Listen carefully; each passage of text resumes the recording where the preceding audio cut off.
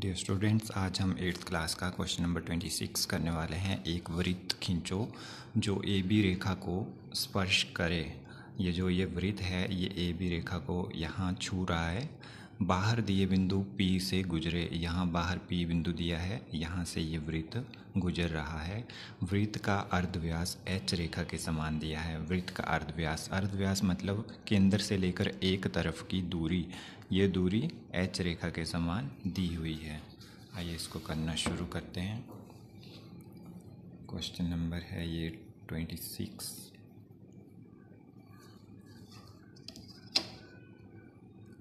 ये भी रेखा लगाएँगे।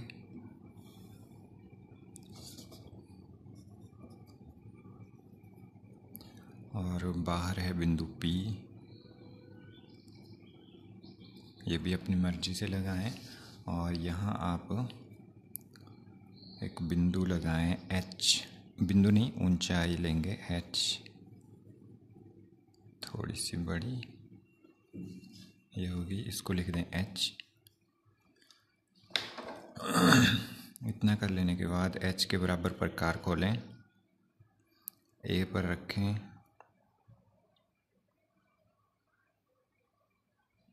चाप लगाएँ और उतनी ही प्रकार खुले रखें बी को केंद्र माने और चाप लगाएँ। इसके बाद चापों के सिरों को स्केल की सहायता से आप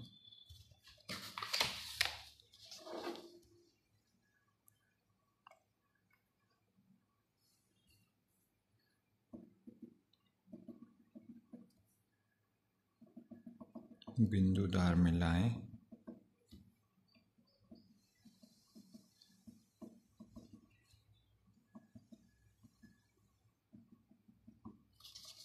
इस तरह।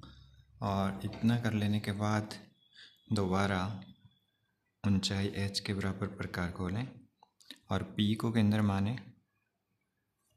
और इस तरह से इस लगाई गई बिंदुदार रेखा को काट दें।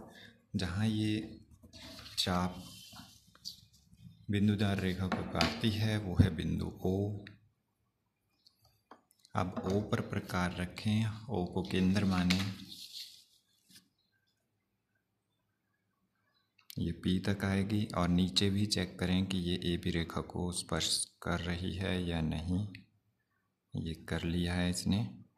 और जब ये क्लियर हो जाए कि ये दोनों को स्पर्श कर रही है तो आप एक उत्तर वृत्त लगा दें।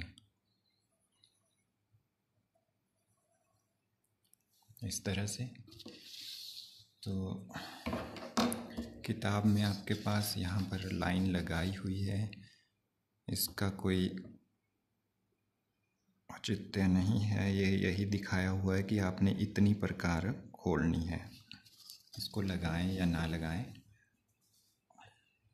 यहाँ है आपका बिंदु सी और ये है डी तो ये आपका प्रश्न नंबर छब्बीस बनकर तैयार है। Thank you